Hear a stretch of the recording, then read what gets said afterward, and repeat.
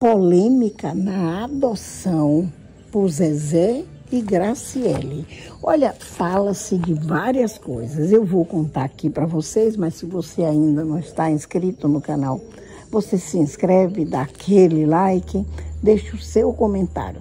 Já foi falado que foi a adoção foi negada por causa da maneira de Graciele ser exibicionista, muito vulgar, ter sido amante o tempo todo, destruidora de família, ver esses péssimos relacionamentos dela com, a, com os familiares de Zezé.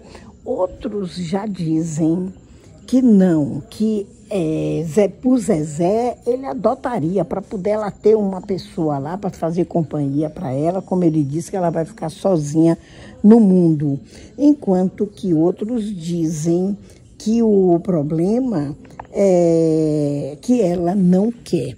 Ela não quer porque ela só quer um Camargo sangue puro, verdadeiro, que ela não quer as pessoas jogando na cara dela que ela tem um filho de Zezé, um filho postiço, um filho que não foi dela, que ela não teve nem capacidade de dar um filho, quanto mais, não é? Que ela sim, a capacidade dela foi de destruir a família e não de formar uma família.